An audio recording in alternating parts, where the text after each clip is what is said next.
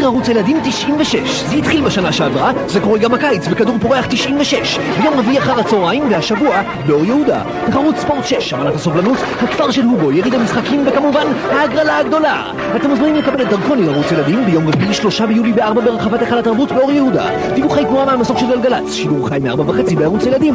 יום רביעי אנחנו בעיר ערוץ ילדים. אל תישארו בחוץ.